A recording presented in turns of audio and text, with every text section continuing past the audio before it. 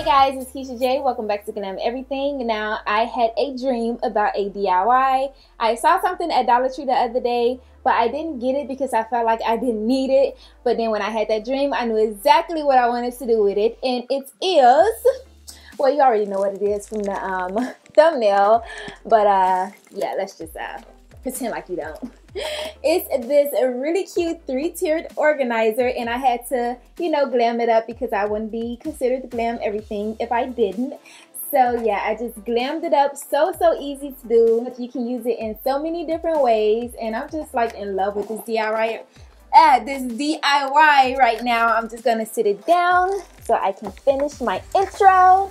But yeah, um, you don't need many items for this, of course, as you can see, but you can decorate it however you want. If you want to just leave it plain and just have an acrylic, you know, organizer, you can, and that'll be, you know, super cute too. Before we get started, if you're not already subscribed, I would love it if you take a moment and hit that subscribe button. That'll be so, so awesome. And also, don't forget to hit that bell so you're always notified whenever I upload a video. Now, with that being said, we're just going to jump right into this really quick and easy Dollar Tree DIY. Now you will need four candlesticks for this DIY and you want to make sure you get the ones with the hexagon shape for the bottom. I've noticed that Dollar Tree sells different shapes for their candlesticks so make sure all of your candlesticks are the same and it is the shape of the hexagon and you will also need three acrylic trays and whatever you decide to decorate your tray with if you're going to decorate you will need that as well now i'm going to use a hot glue gun for this diy but i do recommend you use like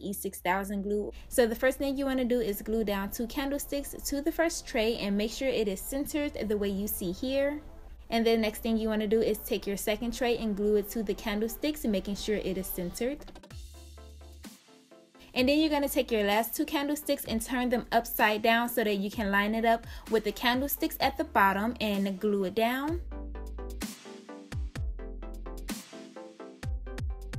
And then the next thing you're to do is take your third tray and glue it to those candlesticks and make sure it is centered. So I did not like seeing the glue on the candlestick showing through the acrylic tray, so I decided to cover it with some bling. I got this from Dollar Tree as well. And the last thing I'm going to do is use the rhinestone strips from Dollar Tree and outline each section as you see here.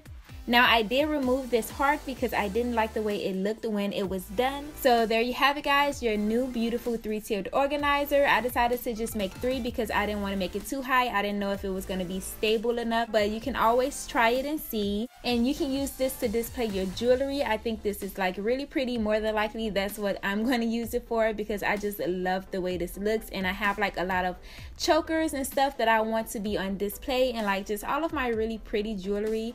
And if you have your favorite sunglasses that you want to display, you can do so as well. It fits perfectly inside of this tray. You can also use it for your makeup. You can just sit this on like your vanity and keep your go-to like makeup items in here. You can also put it in like your guest bathroom for your toiletries.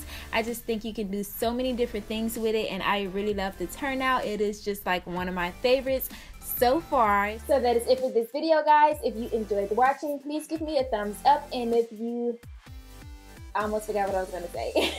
if you missed my previous video, check it out here. If you still have yet to subscribe to my channel and you made it this far, go ahead and just hit my face right there. You know you want to. I really want you to. That'll be so, so awesome. And I will see you in my next one. Bye, guys.